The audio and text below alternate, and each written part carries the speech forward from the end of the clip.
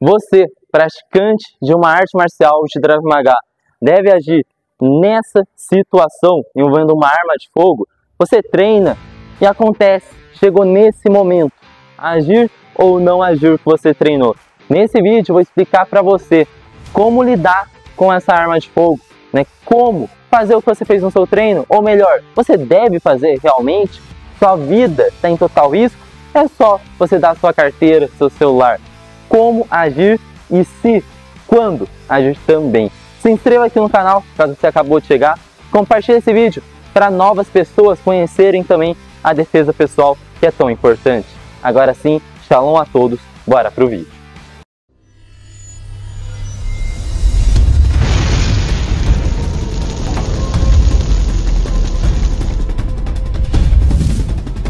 Primeiro, a gente vai começar com a situação com uma arma de frente, né, apontando para você na sua frente, na cabeça, enfim, de frente, primeiro.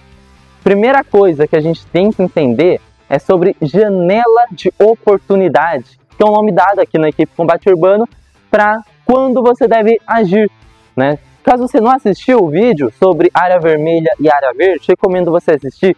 Você pode fazer uma relação entre essa explicação e a explicação do vídeo da área verde, que eu vou deixar aqui na descrição, depois você pode assistir.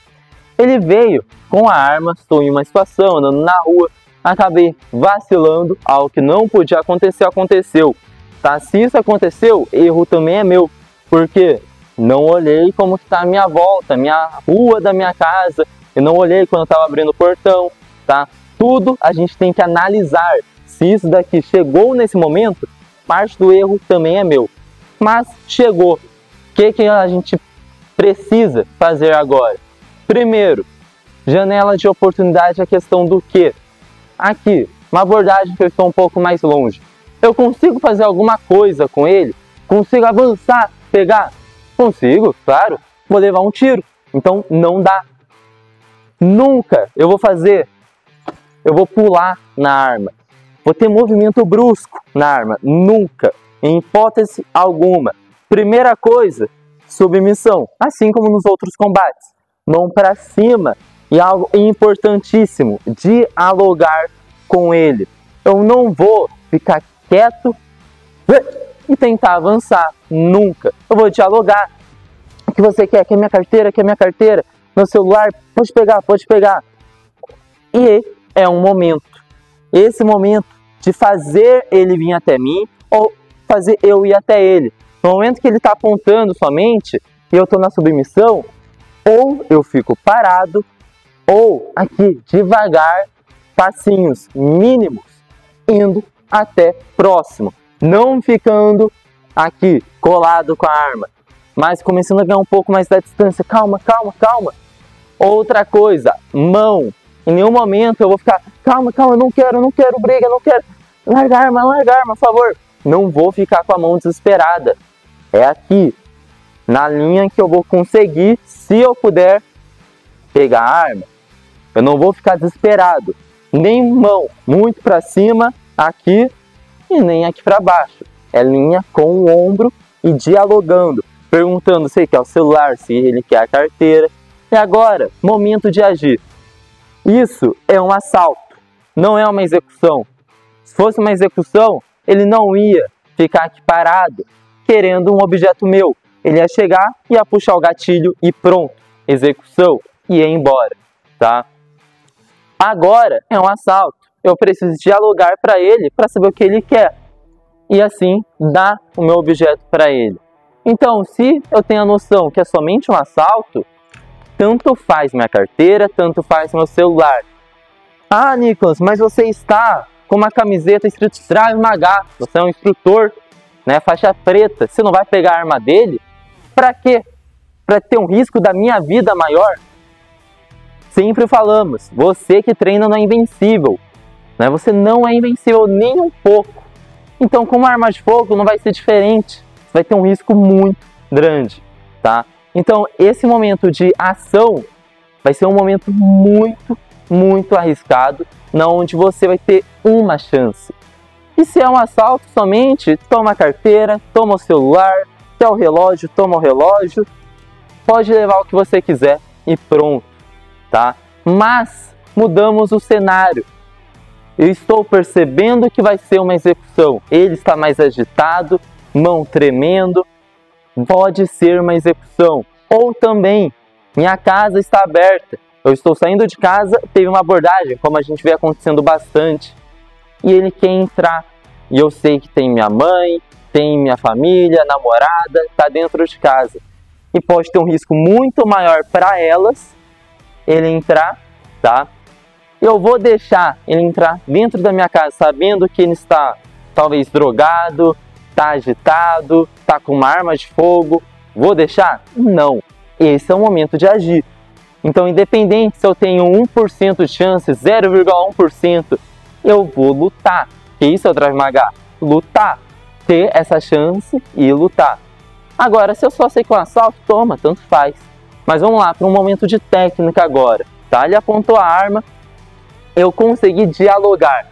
Esse momento aqui vai ser tanto se ele quiser pegar algo de mim, ele vir com a mão para eu dar, ou ele tentar pegar no meu bolso, ele apontando a arma e ele vai tentar pegar. Pode ser um momento. Ou eu tentar pegar e dar para ele. Pode ser um momento também tá? Ou também eu tentando movimentar devagar. Um erro que acontece quando a gente fala de janela de oportunidade é a enrolação, a demora e perder a oportunidade que a gente gerou. Qualquer movimento vai ser oportunidade. Um ônibus passou, ele olhou para o ônibus. Oportunidade. Caminhão passou, ele olhou. Alguém correndo, uma pessoa gritou, ele olhou para xingar, falou para a pessoa ficar quieta. Distração. Esse é o momento. Erro também, nunca vou olhar cano da arma, em hipótese alguma aqui, vai agitar ainda mais ele, ou ficar aqui encarando ele. Você não quer arrumar confusão, mais do que uma que você já tem aqui, tá? Ficar encarando no olho dele, homem que homem não olha no olho, olha no ombro, tá? Então a gente vai gerar uma técnica a partir daqui. Primeira coisa que eu tenho que fazer é gerar o pane na arma. Então eu tô com a submissão, consegui gerar uma janela de oportunidade e vou tirar o corpo segurando aqui o cano e tirando a minha visão do cano. Nunca vou aqui de frente, segurar de frente, porque vai sair um disparo, tá? Então saiu, bum, gerou pane na arma. Não vai sair mais disparo. Esse é o momento da técnica ser feita. Então eu tirei o que, que ele vai querer fazer? Puxar a arma, até porque estou com um bem dele, é a arma, o ser mais precioso. Ele puxou, bum, entrei, martelo, direto, bum, bum. A mão que segurou, ela vai contornar, tá segurando, eu não vou agarrar ele, vou segurar. Segurei aqui, vou fazer um tranco com a arma para baixo, para tirar, tá? E também torcendo. O dedo dele, coloca no gatilho, vai estar tá no gatilho no momento. Então, quando eu girar a arma, vou estar tá torcendo todo o dedo dele, quebrando, tá? Saiu a arma dessa forma, eu vou tirar aqui, né, consertar? Não, não preciso fazer isso. Tirei aqui, já vai desse jeito mesmo no rosto. Bum, bum, bum. Empurro usando a arma, resolvo o pane primeiro, aponto. Lembrando, Situação é situação, cada caso é um caso. É caso de guerra? Tenho que executar? Drive Maga. Não é caso de guerra? Ok. Resolvo o pane, vou embora, tá? Resolva a situação. Então veio de novo, submissão, conseguiu uma janela de oportunidade, uma distração, ou até mesmo em mim mesmo. Saio, causando pane na arma. Ele puxou, bum, bum, bateu, segurou, joelho, passou, uma mão segurou na arma e a outra girou. Saiu certo agora, não vou precisar mudar a forma de novo, né? Agora, vou bater com o próprio cano da arma no rosto dele. Bum, bum, girou, resolvi o pane, apontei, tá? Primeira forma. Segunda forma que eu quero passar no vídeo de hoje, a arma vindo de costas, tá? Que é um caso na onde a janela de oportunidade vai ser muito importante. Porque todo ladrão, quando for assaltar vocês, solta um pouquinho, ele vai querer o que? Mostrar a arma, tanto de frente, para te causar medo, para te causar pressão, medo e fazer você der seu objeto, né, te causando também nervoso. Quando for de costa, a mesma coisa. Vira um pouquinho, Pedro. Quando ele for vir para fazer né, o assalto dele, pedir seu objeto, ele não vai ficar. Isso é um assalto aqui atrás. Pode acontecer? Pode, que a gente vai falar sobre isso agora. Mas normalmente vai fazer isso daqui.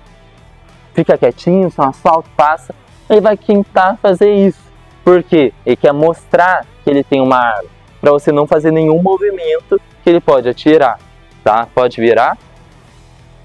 Então, tem esse caso, onde ele chegou com a arma, bum, e colocou nas suas costas. Outro caso, quando ele não coloca, ou ele fica distante, né, e fica te xingando, quer sua, sua carteira, enfim, ou ele coloca uma mão e a outra aqui. Tem como você saber que ele está armado? Não. Porque você está na rua, estava mexendo no celular, está no ponto de ônibus, ele colocou a mão, falou que é um assalto, e é isso. Não indicou que tem uma arma.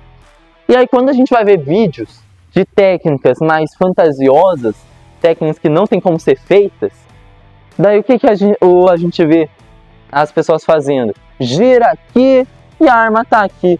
Daí o que, que ele faz também? Ou ele pega aqui, gira, mas a arma tá aqui. E daí a gente vai ver os comentários, e esse é o tipo de vídeo que serve para falar mal do Drive Maga, para a pessoa ter um certo preconceito com o Drive Maga, que não existe, não tem como. Não dá.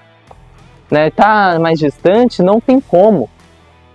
Simplesmente não tem como eu virar, porque a arma vai estar tá na minha frente. Então, nesse caso, é totalmente vantagem dele. Toma é, dinheiro, carteira, tá tudo no bolso, pode pegar. É dele. Não tem como eu girar. Agora, ele colocou, eu sei que tem um objeto nas minhas costas, eu sei que tem uma arma. E a questão da janela de oportunidade vai funcionar da mesma forma. Tá? Eu tenho que causar uma distração nele tanto com o objeto aqui, ou se passar algum movimento e ele olhar, também causar uma distração. Primeira coisa, eu não vou girar aqui, nessa mão. Primeiro, eu giro para cá, a arma está aqui, atirou em mim, né? Eu vou girar para o lado que está a arma dele.